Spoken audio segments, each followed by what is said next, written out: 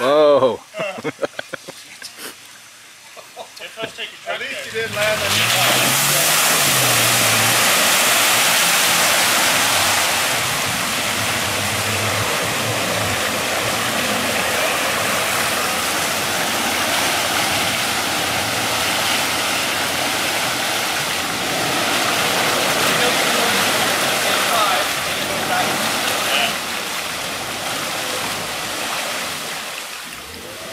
Thank you.